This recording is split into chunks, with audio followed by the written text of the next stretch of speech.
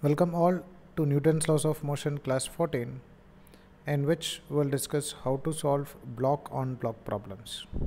So over here if you are considering that there is a block of mass m1 which is kept on another block of mass m2 which is kept on a surface. That surface may be a smooth surface or it may be a friction surface. Now over here if you are exerting some force let's say if I am exerting a force F on block of mass m1 then we need to find out what about the value of acceleration of m1 what about the acceleration of m2 and what about the value of frictional force between m1 and m2 and what about the value of frictional force between m2 and surface.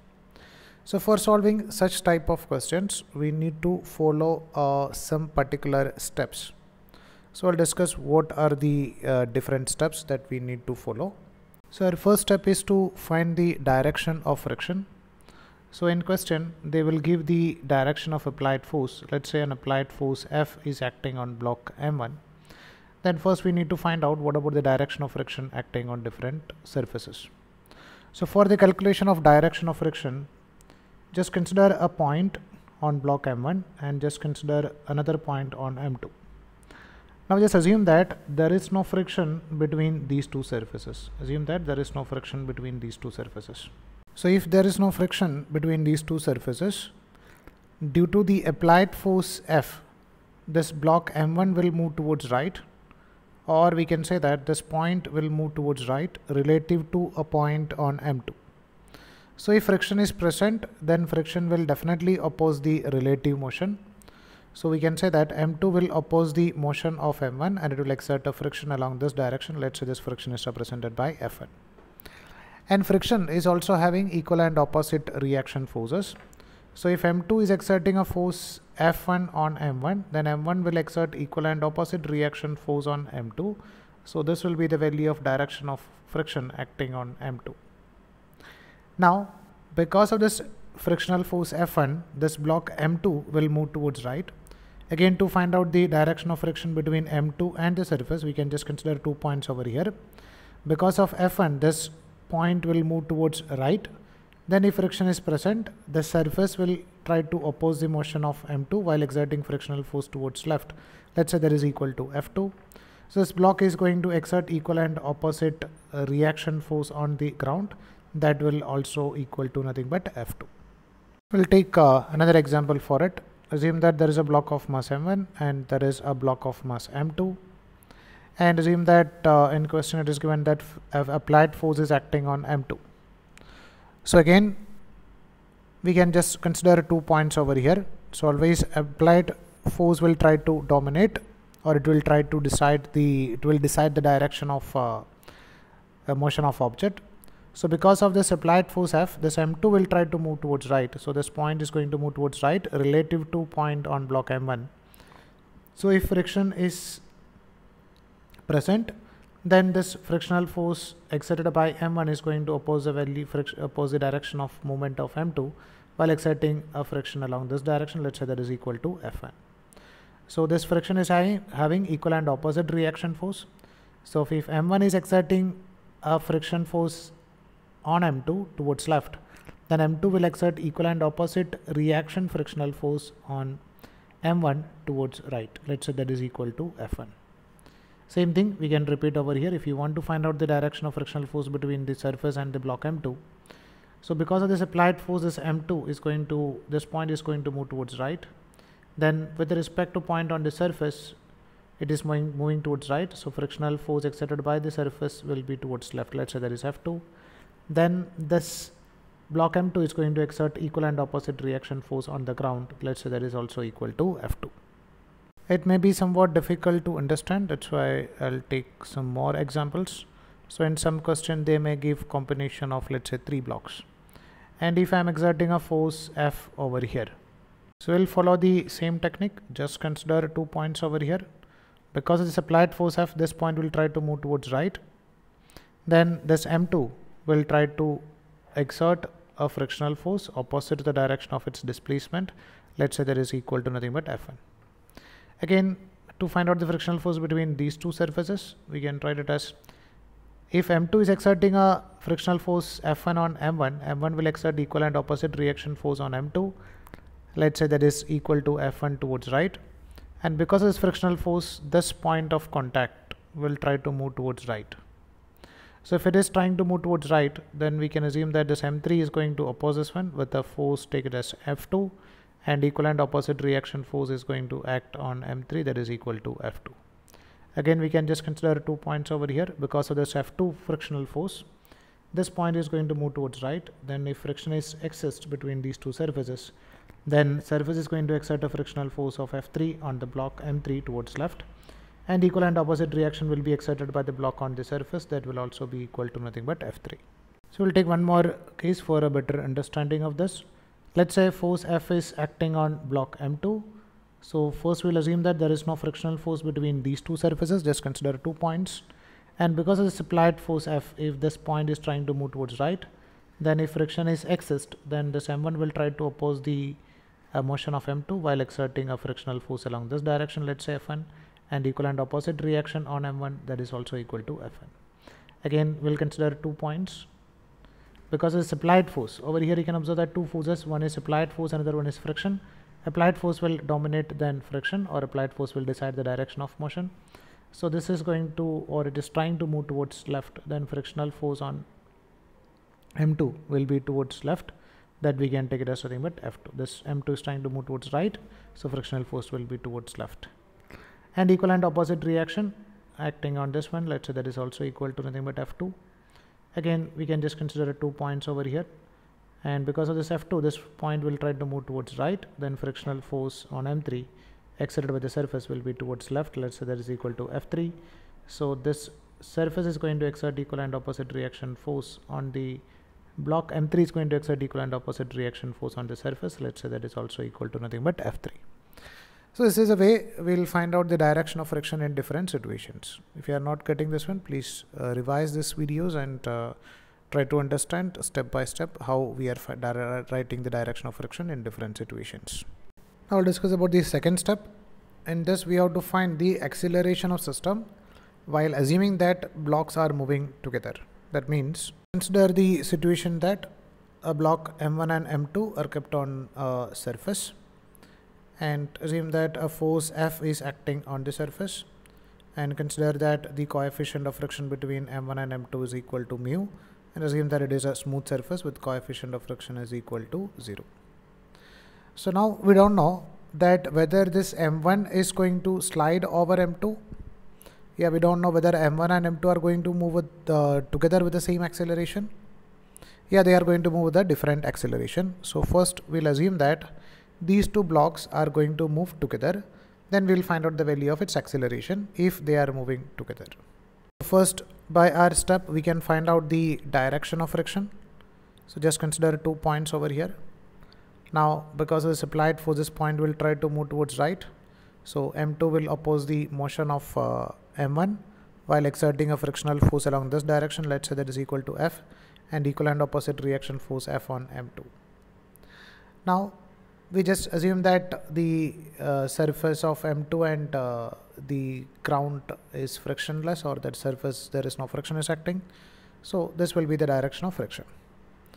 Now the second step is to find out the direction, find out the acceleration of system while assuming that these two blocks are moving together. So if they are moving like a single system, then we can consider that the net force acting on the system is equal to nothing but uh, F1 and it is moving with an acceleration A. So we'll assume that its acceleration is equal to F divided by M1 plus M2. So this will be the value of acceleration if they are moving together. Now in the third step, we need to calculate the frictional force required to move the blocks together with same acceleration. That means we just calculated it as if the two blocks are moving together then it is going to move with an acceleration that is equal to f divided by m1 plus m2 now from the free body diagram of uh, block of mass m1 or block of mass m2 we can find out what about the value of frictional force required for it. So if i'm going for free body diagram of m2 because only one force that is frictional force is acting on the object and if it is moving with an acceleration a that is equal to f divided by m1 plus m2 so according to newton's law we can write this net force should be equal to mass into acceleration that is m2 into f divided by m1 plus m2 so we need to find out what about the value of frictional force required so that both the blocks are going to move together now on the fourth step, we need to calculate the maximum possible value of frictional force between the block. That means we know that the maximum possible value of friction is nothing but coefficient of friction into normal reaction. So between the first surface, two surface, we can write weight m1g is acting downward and normal reaction n1 is moving upward. So frictional force over here is nothing but we can take it as nothing but mu into m1 into g this is the maximum possible value of friction now we'll come to the conclusion part. That is if the maximum value of friction is more than the frictional force required to move the blocks together then the system will move together with the same acceleration. And if the maximum friction is less than the frictional force required to move the blocks together then different blocks will move with different acceleration. To understand this, we'll take some examples, some numerical examples. So consider a situation that there are two blocks of mass 1 kilogram is kept over another block of mass uh, 2 kilogram and the coefficient of friction between block 1 and 2 is nothing but 0.4 and the uh, friction between 2 and the surface is taken as nothing but 0. So the first step is we need to find out the direction of friction. So on the first step we'll just consider that two points over here and this point uh, we'll assume that there is no friction between this point uh, block 1 and 2 so this point will try to move towards right if there is no friction. So if friction is there point 2 will oppose the motion of uh, 1 so the frictional force on 1 will be along this direction. Let's say there is f. So this one will exert equal and opposite reaction force on uh, second block. Let's say there is also equal to nothing but f. Now we'll move to the second step. Second step is we don't know whether these two blocks are going to move together or they are going to move with a different acceleration. So we'll assume that these two blocks are moving together with an acceleration a. Then we'll find out what about the acceleration of this system. So we are exerting a force of 3 Newton on the system and if it is moving with an acceleration a, so you can write acceleration is equal to force divided by mass. Force is nothing but 3 and acceleration and mass is nothing but 3. So we can write the value of its acceleration is 1 meter per second square. Now on the third step, we'll find out what about the value of frictional force required for moving with this common acceleration. For that purpose, we can take the free body diagram of uh, object 1 or object 2 so if I am drawing the free body diagram for this block of mass 2 kilogram, so over here a frictional force of F is acting towards right and other forces are not acting and we assume that it is moving with an acceleration of 1 meter per second square.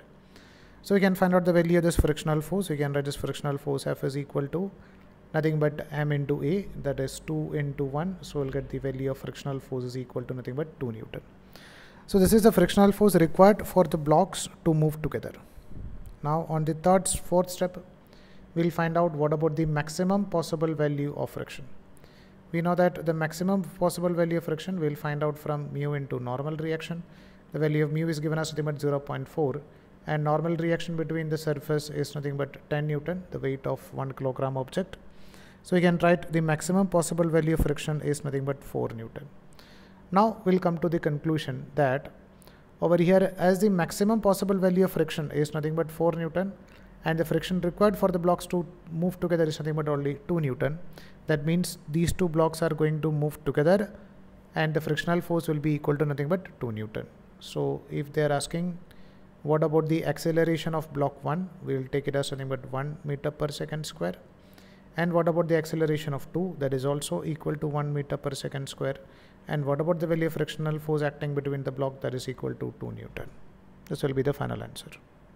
Now just consider another example in which we are having again a 1 kilogram object and 2 kilogram object and take it as the frictional force the value of coefficient of friction between them is 0.4 and there is no friction between these two surfaces or we'll take the value of coefficient of friction is equal to 0 and Rm is to find out what about the value of acceleration of 1 kilogram and this 2 kilogram block. So we'll again continue with our uh, step-by-step -step procedure. First step is we need to find out the direction of friction. So for the calculation of direction of friction, we'll consider two points over here. And due to this applied force of 15 Newton, this block mm, will try to move towards right. Then the block 2 is going to oppose its motion. So this block 2 will exert some frictional force towards left on block 1. So this block 1 is going to exert equal and opposite reaction force on block 2. Now in the second step, we don't know that whether these two blocks are going to move together or not. So we'll assume that these two blocks are moving together. Then we'll find out what about the acceleration with which they are moving if they are moving together. So we can write acceleration is equal to net force is 15 and total mass of system is nothing but 3. So we can write it should move with an acceleration of 5 meter per second square. Now in the third step, we'll find out what about the value of frictional force required for the block to move with an acceleration of 5 meter per second. So I'm just drawing the free body diagram for block 2. So on this block 2 or block of mass 2 kilogram, a frictional force F is acting and we just assume that it is moving with an acceleration that is equal to 5 meter per second square. So for this acceleration, the value of F or the value of frictional force should be equal to nothing but m into a. Over here, the value of mass is nothing but 2 kilogram, acceleration is nothing but 5. So the value of frictional force should be equal to nothing but 10 Newton. Now we'll find out what about the maximum possible value of frictional force between the surface by using that equation mu into n. Here the value of mu is nothing but 0.4 and the value of normal reaction which is nothing but 10. So you can write the value of frictional force is going to be nothing but 4 Newton. Now we'll come to the conclusion that over here the frictional force required for the blocks to move together is 10 Newton but the maximum possible value of friction is only 4 Newton then these two blocks are not going to move together because for moving together required a friction of at least 10 newton. But over here this is exerting it can exert a maximum of only 4 newton. So they will not move together. Then we need to find out what about the value of friction over here. Then maximum possible value of friction is going to act. That is equal to nothing but 4 newton. So frictional force will be equal to 4 newton. Now we can find out what about the acceleration of this block 1 and block 2 so if you want to find out the acceleration of block 1, we can draw the free body diagram for block 1. On block 1, there is an applied force of 50 Newton is acting and there is a frictional force is acting and we got the value of frictional force as nothing but 4. So we can write this acceleration will be equal to nothing but 15 minus uh, the force acting in the opposite direction that is 4 divided by mass we can take it as nothing but 1. So it will move with an acceleration that is equal to nothing but 11 Newton. Now we can draw the free body diagram for uh, block 2 or block of mass 2 kilogram. There the force acting is nothing but the frictional force and the value of frictional force is nothing but 4. So you can write it is going to move with an acceleration, let's say that is moving with an acceleration a.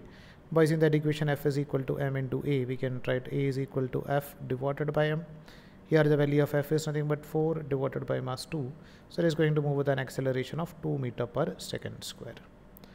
So this will be the final answer. That means acceleration of block 1 is nothing but 11 and uh, 11 meter per second square. So this is not Newton, this is in meter per second square. And the acceleration of 2 kilogram block is nothing but 2 meter per second square and the value of frictional force between the block which is nothing but 4 Newton. So this concept is also somewhat difficult to understand. So try to watch this one or two times and try to concentrate on the examples that we discussed. Hope so that you will be able to understand whatever the things we discussed in this class. If you are having any doubt, please contact. Thank you.